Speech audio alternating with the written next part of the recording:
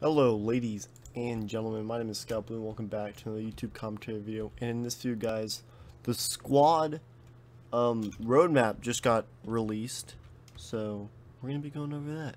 Also, I just got my new microphone, so this is the first video on my new microphone, but this video is going out on Friday, so there'll still be videos with the old microphone. I hope this one sounds a lot better. I don't even have a pop filter yet for it, so that probably sounded really bad, but just wait on that. It's literally arriving today.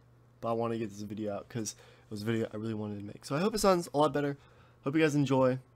Um, I want to say one thing before we start. I was going through my like YouTube studio thing and I clicked on my comments. I realized there's so many comments that YouTube didn't notify me about.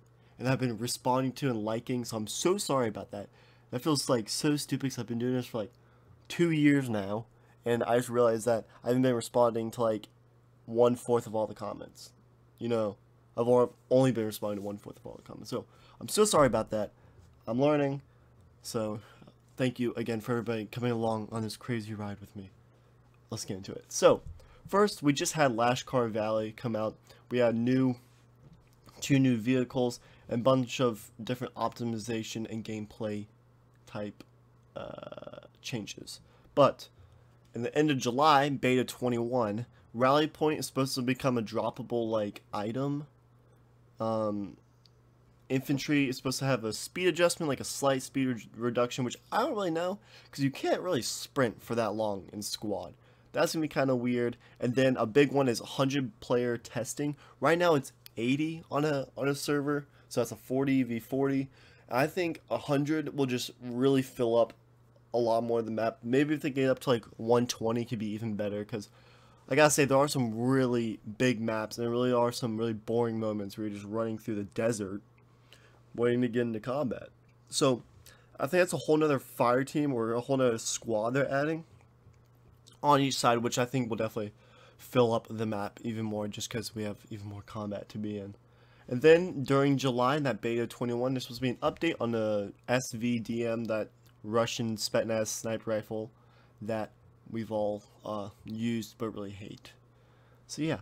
And then during that beta 21, there's also three new vehicles, which is the two RUS and one uh, CAV video uh, vehicle. So it looks like there's going to be some sort of like Stryker type vehicle, um, a Humvee, and then a transport vehicle. Next in August, which is going to be beta 22, oh shit, they're coming out with the new Fallujah map, which is to be very awesome, because right now in Squad, there's just a lot of, like, you know, really far away shooting at people type combat. You know, Fallujah is just a huge city that's going to have a lot more close quarters, which is really to switch up the meta of the game, or meta of the map. So I'm very excited for that. That's end of August. And then also, during that release, there's going to be a new Middle Eastern faction called the MEA or Middle Eastern Alliance. So that should be pretty interesting. Then there's going to be new mechanic tweaks and capture mechanic tweaks, helicopter improvements. So if like your tail rotor gets shot out, you're going to have less control. Um, tournament game modes, which I don't really care about. Um, capturing mechanic tweaks. So everything like capture points are all different on how you capture them. Like if you're in a, if you're in a helicopter, you can still capture a point. If you're on the ground, if you're in a tank, stuff like that. So they'll fix around with those type of things.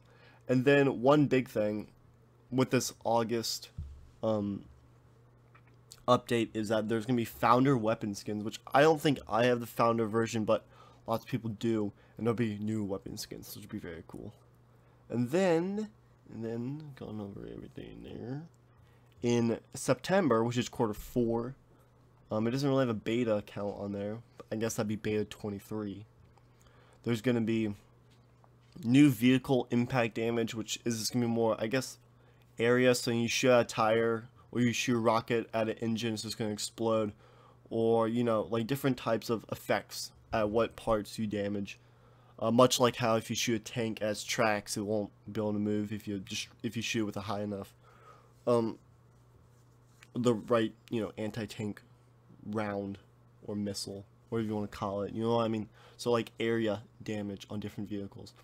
And then um, a new gameplay overhaul phase, which pretty much means that how, how Squad loads in is that they have all these different layers to, you know, the, the terrain of the map, to the micro uh, cover, to the buildings, to the vehicles, to the helicopters, to the supplies. It all loads in at once. So they can condense that, that'll optimize the game a lot better. You'll get more frames since it's not all loading in at once. It's not all going to your um your memory. So that'd be very very good for people that want to get into the game but don't get the best frame rate. And then for content in September or the end of September, there's going to be new uh, Insurgency game mode Overall phase 1 and new Insurgent vehicles which really just look like a bunch of Toyota Tacomas with uh, anti-air guns, mortars, and machine guns on the bat in the beds. So you guys can definitely put that image in your head, or you can pull up the roadmap as I'm looking through it. Uh, and then I think there's also going to be some sort of Humvee type vehicle coming in.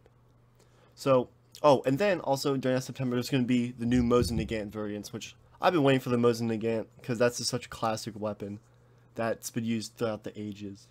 So I'm pretty happy about that. So next, the end of October, is going to be having a new map called Operation Anvil. Looks more like a Lashkar Valley type map with um, deserts in between little small towns and villages with a bigger town maybe the main focus point. And then during October the Australian fa faction gets added which the Australian faction has been worked on by his mod team that also made Operation Anvil and then they'll have a few other vehicles that go along with like the Australian uh, faction uh, released, if that makes any sense. So October's big for the Australian faction. Um, again, we'll have more Insurgent game mode overhaul phase 2, gameplay layer overhaul of phase 2. So they're going to keep on trying to optimize the game and add more content, which it looks freaking great so far. October, we have this much content coming out. That's that's pretty great. And, you know, most games can't keep up with one update a month. So that's um very exciting. And then December, the big month, the five year anniversary, which I've only been playing Squad for maybe two years now. So I'm basically a noob. And, uh, but I've definitely fallen in love with the gameplay. It's really fun. But the five year anniversary, this is when they want to release uh, their beta 1.0, right? Yeah. They're, they're, they, this is one of when, when they want to officially release. So I think that this content updates can be freaking huge, okay? So they're to have amphibious vehicles, which can be really cool. A new map called Black Coast, which looks like it's a coastline map, so they're going to need those amphibious vehicles because you're going to be in the coastline, um, in the water, stuff like that. And then another layer overhaul, and then the big thing for December is the United States USMC faction is going to be added, which is going to be great because that's just fucking badass, right? So that's going to be very cool. I hope there's a lot more new weapons when these factions do arrive, which I think there will be. And then, when that all gets released, we have content for 2021, which isn't that, um, you know, it's more a little hazy, but they're sneak peeking a, or giving a peek at a new map, not really to reveal it, and then a new faction name, which is, is just going as the, a placeholder name, which is a placeholder. So, we don't know yet, but they're to keep on overhauling the UI system, which I guess that needs to be overhauled. I don't know. I kind of like it because it's just very simple and bare bones, which that's how a hardcore game should be. Um, after action report, gamepad joysticks uh, support, ultra wide monitor support, command resource point system, territory control game mode overhaul, impact damage, impact to pedestrians. So a bunch of more gameplay. That's for 2021. So that's so far down the road. I'm excited for what this next, uh, like, six, five months or so is gonna have for Squad. Because it's, it's freaking big, okay? And guys, you know, if you're interested in any of that update, definitely subscribe to this channel because you know I'll already be on it. I'll be on it. So, yeah. Thank you all for watching. Tell me what you think. I think there should be a lot more weapons, and maybe there should be some sort of ranking system. I know that's not something a lot of these games go for, but I think that can really show who should be like squad leader, who should be commander, who should do these different roles. I think it just shows, you know, because you get into a game, you're like, who wants to be squad leader, and then they promote the guy who has the least amount of hours, but they don't even know that. So, a level system could be a very good thing. That's just one thing I'd be um, not opposed to. So, again, if you guys like video, definitely drop a like. I hope you guys like the new mic. It sounds great, I think. So yeah, it's not as laggy as my old mic. Um, so yeah, hope you guys have a great day. Subscribe. I'll see you guys in the next video. Peace.